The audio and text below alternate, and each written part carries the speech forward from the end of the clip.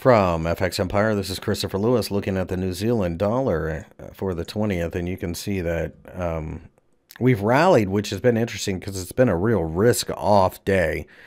Um, 72 and a half, I think, is resistance above. If we can clear this little cluster here, then we can go to 73 and a half eventually. Uh, but right now, it wouldn't surprise me at all to see the market hang between 72 and a half and 72. A breakdown below there sends the market to 70. Expect choppy and noisy and just generally messy conditions with the Federal Reserve meeting coming later this week.